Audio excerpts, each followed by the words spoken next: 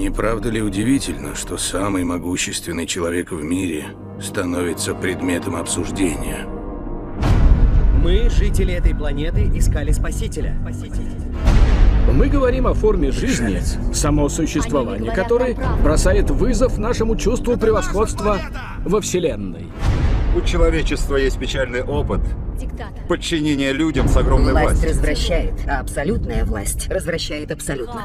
Может, он просто пытается поступать правильно? Теперь-то мы знаем. Мы его не контролируем! Демоны не выползают из преисподней. Они спускаются с небес. Мир настолько увлекся тем, что он может, что никто не спросил, а что он должен.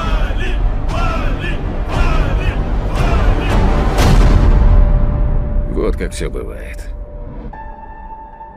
Лихорадка, злость, ощущение беспомощности, которое делает хороших людей жестокими.